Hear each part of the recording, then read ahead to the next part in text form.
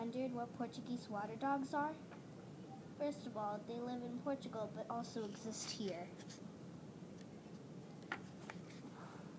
They were taken along with sailors during discoveries. The water dogs are fairly rare, but their non-shedding quality makes them more popular. The average lifespan for the dog is 12 to 15 years.